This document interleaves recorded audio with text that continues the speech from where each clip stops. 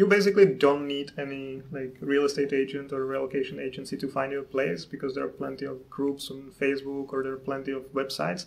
But if you do it without some help, uh, it might be pretty complicated for you to check that you sign a contract with a le- real landlord and that you will get all the documents which you need for your visas. Because in, in many cases, especially if you're renting a room just from someone, it usually is not even the landlord or the owner, it's usually just some of the tenants already living there. So they are not, if you're outside EU, they are not able to give you the proof of accommodation you need. Uh, if you wanna freelance in Prague, if you wanna get the trade license, you will also need a consent about the business address. And if you don't meet the landlord, uh, that might be it, it might get you in a big trouble. Rents in Prague are higher than in the rest of the republic, but it's the same in like every other country. The capital city is always the most expensive. To give you some like idea, uh, let's say rooms. If you want to rent just a room in a shared apartment, they start at like six thousand crowns if, if you wanna live somewhere in suburbs. Uh, if you wanna live closer to the city center, you need to count at least with like 10, 12, 13,000. Uh, no, like 10, 10 to 12 would be for a room. Uh, studios start at about like 9,000 in suburbs and go up to like 13, even 15 in the city center. But it's like, it's not worth it probably, not, worth the location. But if you want to have a good studio uh, in a good location, so at least 12, 13,000 crowns. Best locations, as any foreigner, any expat would probably tell you, is Prague 2, which is Vinohrady, uh, or um, Prague 1, of course, because the city center. Um, the pluses are that you can always talk English there and everybody will understand you. The minuses are that it's more expensive and you will probably not get in touch with much of Czech people there. What is a good location, I would say, would be uh, a Prague 10, for example, the Vršovice part, which is a really hipster area right now, so it's emerging very fast.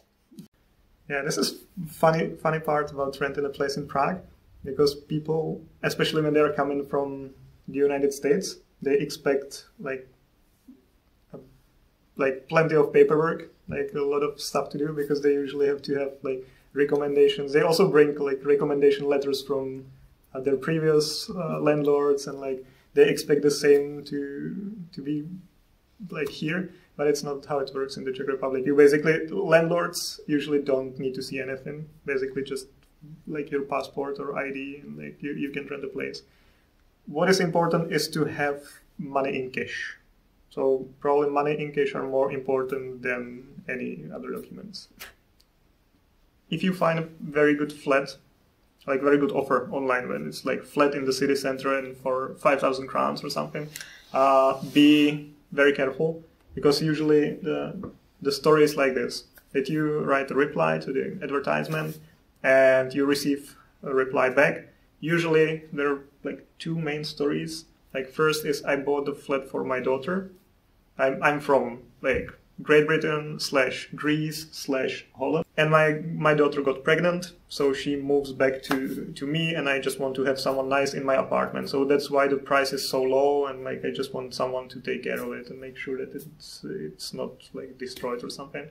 Uh, the thing is that as stupid, stupid as it can sound, now they're, the, the guys are really improving and they, I'm not sure if they really reply, but the, the replies look like real and they usually exchange a bit like a few emails with you. So it really looks like uh, a real, real, person yeah talking to you. Now they started even sending like ids like real passport photos or real like id id photos like to prove that they are like a real person. Uh, and what they also started doing is saying like hey like the classical story is okay but since i'm living here and my daughter already moved out also um, I cannot like show you the apartment, so please send me some deposit and I will send you keys so you can visit the apartment. It sounds stupid, but especially if you're under pressure and if you exchange like 10 emails with the guy and he even sends you your with like his ID, it sounds very realistic and actually many people like would like, accept that. Uh, and there, the kind of new thing is that they say that okay, I of course understand that you don't want to send the money to someone you don't know. So there is a like deposit account in Airbnb. So you will send the money there, and no one of us can touch it before like we sign a contract. That's that's bullshit. There is there is nothing like a deposit account in Airbnb. So just don't send or don't give money to anyone before you get the keys and before you see the apartment.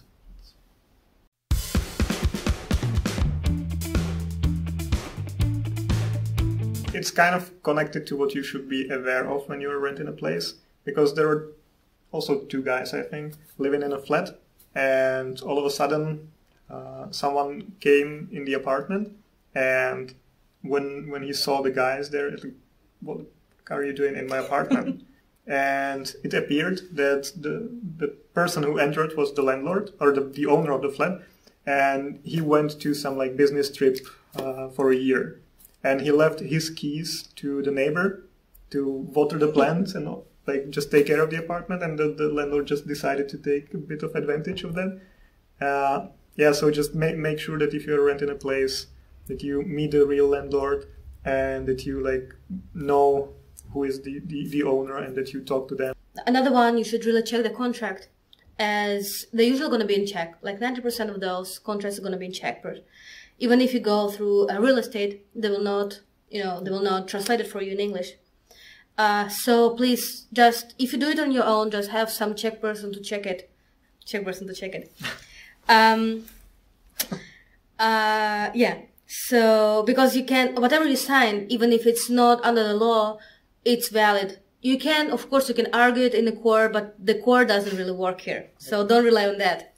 So really be careful about what you're signing. If you sign that your deposit will be gone after you move out of the flat and you sign it, it's probably going to be valid. So just have someone to check yeah. it for you.